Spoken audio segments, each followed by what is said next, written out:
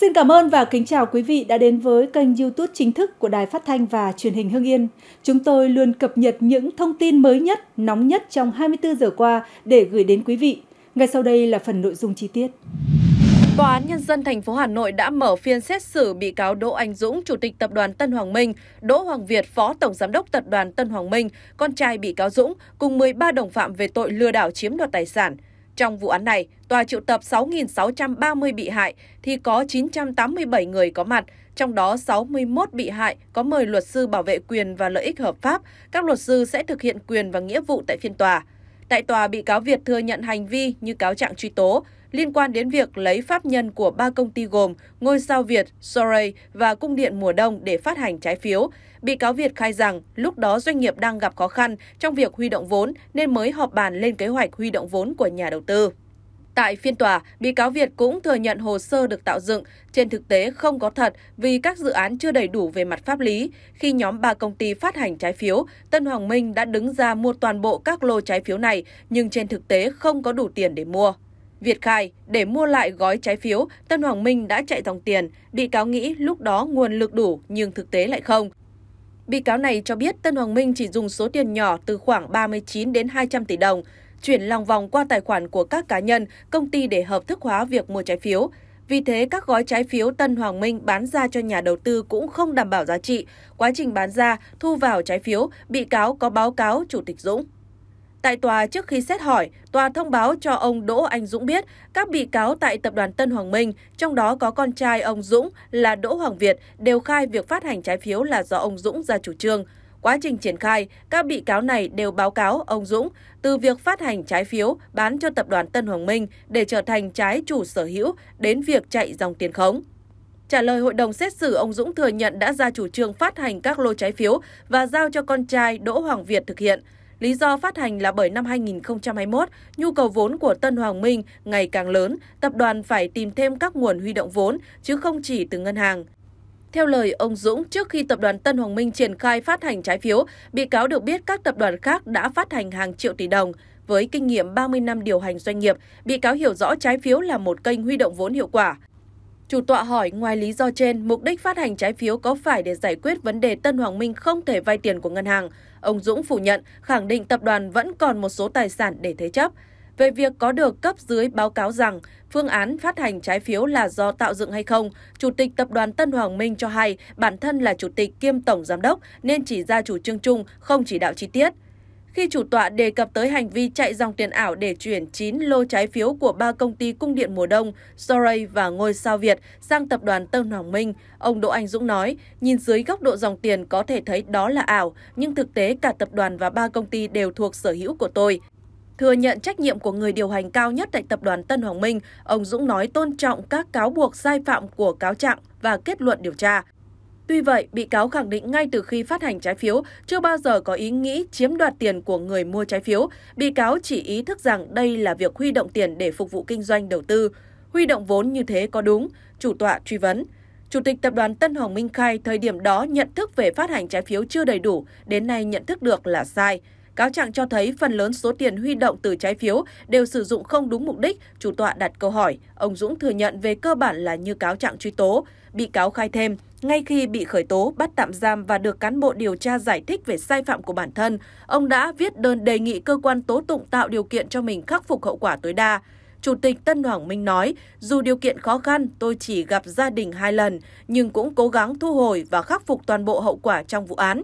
Đến giờ, hơn 8.600 tỷ đồng đã được nộp cho nhà nước để trả lại cho các bị hại. Ngoài ra, tôi còn nộp thừa hơn 1 tỷ đồng để khắc phục hậu quả.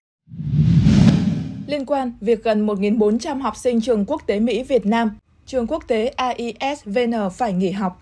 Mới đây, các em học sinh đã được trở lại trường theo thông báo của bà Nguyễn Thị Út Em, Chủ tịch Hội đồng trường. Khác với việc hầu hết học sinh được đón bằng xe buýt riêng của trường như trước đây, ngày trở lại này, nhiều học sinh được ba mẹ chở đi vì xe buýt không đến đón. Chị NTG, phụ huynh học sinh lớp 6 trường quốc tế AISVN cho hay, trước đây xe đón tận nơi hết, nhưng chỗ nhà tôi xe lại không tới nên tôi phải chở con đi. Mà không phải chỉ riêng chỗ tôi, nhiều điểm hôm cũng không có xe buýt đón, chỉ vài điểm có thôi. Bất ngờ hơn, dù được trở lại trường nhưng trường lại không hề có giáo viên đứng lớp. không có giáo viên, gần 1.400 học sinh như gà lạc mẹ, loay hoay, về không được, ở lại trường cũng không xong. Trái ngược với sự mong đợi con em của mình sẽ ổn định việc học, hơn 900 phụ huynh lại một lần nữa bức xúc khi trẻ tới trường nhưng không có giáo viên đứng lớp. MT học sinh lớp 9 nói, giờ con đi về, tại trong lớp không có thầy cô nào, các bạn khác cũng chỉ ngồi chơi, nói chuyện với nhau chứ không có ai dạy. Ngoài những học sinh có người nhà đến đón về, nhiều em còn lại ở trường ngồi từ phòng học ra căng tin rồi đến thư viện, chờ đến cuối giờ chiều xe buýt của trường trở về. Trước sự việc này, nhiều phụ huynh có mặt tại trường bày tỏ bức xúc về cách hoạt động của nhà trường. Chị TH, phụ huynh học sinh lớp 12 nói, chỉ có một thầy và một cô của khối 4. Hai thầy cô này tạm nói là đỡ khó khăn hơn nên họ còn cố duy trì. Nhưng hai người thì sao mà dạy được mấy trăm em học sinh được, bình thường thì có cả trợ giảng, bảo mẫu. Một giáo viên trực tại văn phòng nhà trường cho biết, trường không có giáo viên đến dạy, chỉ mở trường để học sinh tới. Căng tin vẫn mở cửa, tuy nhiên chỉ có đồ ăn đơn giản. Việc có giáo viên đứng lớp hay không, người này không trả lời được. Trường quốc tế IESVN hiện có gần 1.400 học sinh. Trước tình hình của trường hiện tại, các phụ huynh lo lắng con em của họ sẽ bị ảnh hưởng không những đến kết quả học tập mà còn ảnh hưởng tâm lý. Trong khi đó, kỳ thi IB, kỳ thi lấy bằng tú tài quốc tế đang đến gần. Nếu tình trạng kéo dài, hệ quả học sinh và phụ huynh phải gánh chịu rất lớn. Không chỉ giáo viên, nhân viên đòi nợ lương, trước đó tháng 9 năm 2023, trường quốc tế AISVN còn bị phụ huynh đòi nợ. Những phụ huynh này hợp đồng cho trường vay tiền theo dạng gói đầu tư, đóng tiền một lần từ thời điểm nhập học, nhà trường sẽ hoàn trả lại số tiền phụ huynh đã đóng sau khi học sinh học hết lớp 12 và hoàn tất thủ tục chấm dứt chương trình đào tạo chính khóa hoặc hoàn tất các thủ tục ngưng học tại trường. Thế nhưng, nhà trường đã không thực hiện đúng hợp đồng, không hoàn tiền lại cho phụ huynh, mặc dù con họ đã hoàn thành thời gian học tại trường. Ngày 19 tháng 3, chị Lương Thị Huấn sinh năm 1977, trú xóm 6, xã Phúc Sơn, huyện Anh Sơn, Nghệ An cho biết, suốt 4 tháng qua, gia đình chị làm mọi cách để tìm con gái bị mất liên lạc nhưng không được. Gia đình chị cũng đã trình báo lên công an xã để nhờ giúp đỡ tìm kiếm con, nhưng hiện vẫn chưa có thông tin gì. Theo chị Huấn kể lại, Trước đó vào giữa tháng 11 năm 2023, con gái chị là Nguyễn Thị Yến sinh năm 2005, theo một người bạn đi xuống thành phố Vinh rồi qua huyện Nguy Xuân, Hà Tĩnh để làm thêm. Biết con đi làm thêm tại quán Bia, chị Huấn đã khuyên con nghỉ về kiếm việc khác. Ba ngày sau, Yến nghỉ tại quán rồi về nhà một người bạn gái mới quen ở huyện Nguy Xuân, Hà Tĩnh chơi. Khoảng ngày 25 tháng 11 năm 2023, Yến cùng bạn gái mới quen bắt xe khách đi Hà Nội, trên đường đi, Yến gọi về thông báo với mẹ đang đi ra Hà Nội để xin việc làm. Yến báo với mẹ, khi nào đến nơi sẽ gọi về báo cho bố mẹ. Lo lắng nên chị Huấn gọi liên tục nhưng Yến không nghe máy mà nhắn tin báo về con đã ra đến Hà Nội và làm tại một quán cà phê sáng với mức lương 6 triệu đồng.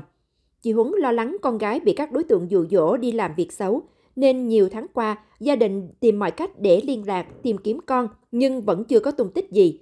Chị Huấn nói, chồng chị vì lo lắng nên gọi nhiều, nhưng Yến đã nhắn đừng gọi điện thoại, Yến sẽ gọi lại qua Facebook.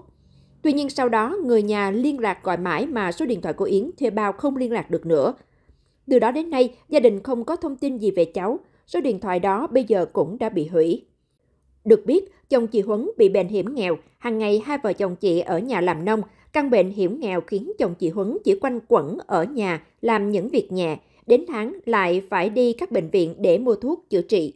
Chị cho biết, mấy tháng qua tìm kiếm con nhưng không được, gia đình cũng đã đăng thông tin lên các trang mạng nhờ mọi người giúp đỡ tìm con.